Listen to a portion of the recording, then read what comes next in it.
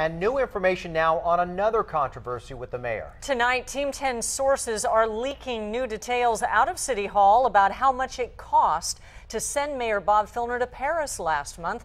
The cost was for security, and Team 10 confirmed the police officers in charge of protecting the mayor missed their flight. Investigator Mitch Blacher breaks new details that you've not heard anywhere else. No other questions on that stuff. The mayor has gone from not taking questions about his junket to Paris to closing the door on those asking them. Mr. Mayor, don't you think you have an obligation to answer some of these questions?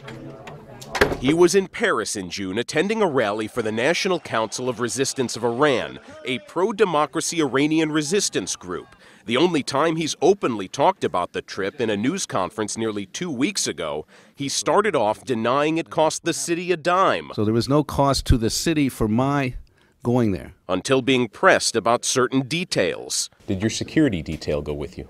Yes. And who paid for them to go?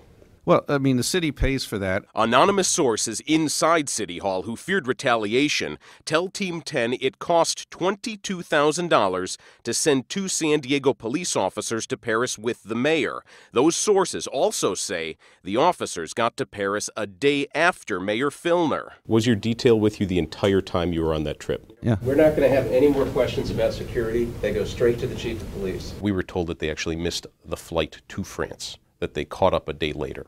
They did miss the flight, and you just can't depend on flights anymore in this business. San Diego police have refused to release specific details about the trip, including documents showing the mayor's itinerary, his security's flight schedule, and total security costs. If you're going to pay for them to travel all the way to Paris with the mayor, shouldn't they always be with the mayor providing security? Well, if, if I could have got on the plane, we would have. We couldn't do that, but he did provide. We did provide the security once he got to France. So this was just a simple, we missed a flight.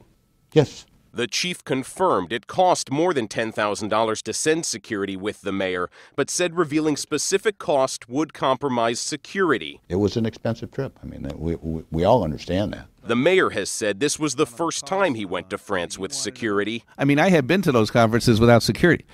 When asked why he needed it, he reacted strongly. Use your head. I'm at a conference about that that is the, about the most explosive place in the world, run by a regime that assassinates people.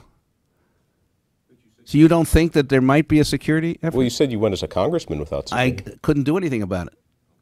I took the risk. Team 10 is also investigating the group that paid for Mayor Filner's trip to France. A group called the Colorado Iranian American Community paid for at least two of the trips when he was in Congress.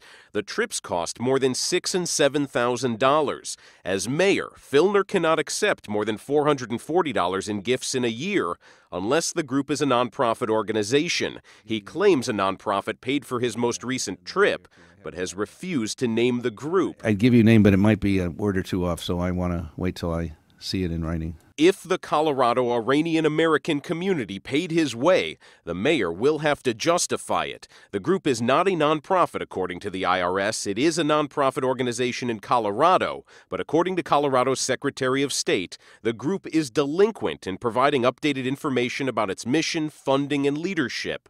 Filner has said the trip served San Diego because he was also trying to bring jobs to the city. My trip to France, in summary, was a business trip. Now, the mayor will have to publicly disclose who paid for his trip before the end of the summer. He'll have to make that report to the city's ethics commission. Your sources say $22,000 for the security detail, but Right. when will we be able to see the actual bill? on We've this? been asking. We've been asking the mayor. We've been asking the city police department. They all have said it's a, a security breach to, to release that information. We see it differently because this is the public's money. We think that everybody should be able to know how it's spent. Now, the mayor has said uh, from that press conference two weeks ago, he said, I'm going to disclose all of this stuff. It's been two weeks. We still haven't seen it. Well, you're breaking things every day, so Yeah. we know you're on it. Yep. Thanks. Thanks.